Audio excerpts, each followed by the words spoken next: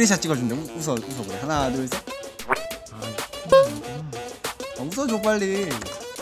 이라고 하는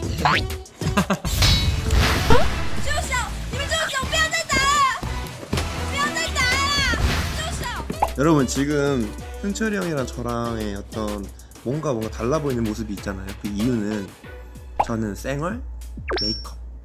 아직 메이크업을 안 지웠고 좀 지운 거예요. 그렇기 때문에 조금 어떤 차이가 있지 않을까요? 전 지워도 안 지워도 쌩얼 똑같아요 참, 그냥 잘생겼다고요 알겠어요 네. 잘생긴 어, 호시야 이번엔 나 리즈 같 리즈라고 했단 말이야 어. 잘생기면 어떡하라고 겸손하라고. 겸손할 필요 없어 잘생긴 건 잘생긴 거 어떡해 난 항상 아버지 어머니 감사하고 플레디스에 감사하고 몇 시지? 몇 시? 왜 그래?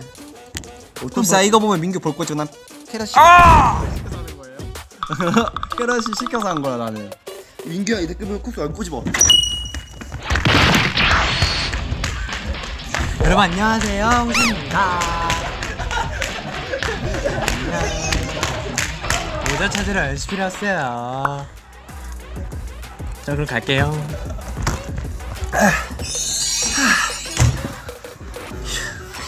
못 꼬집었어요.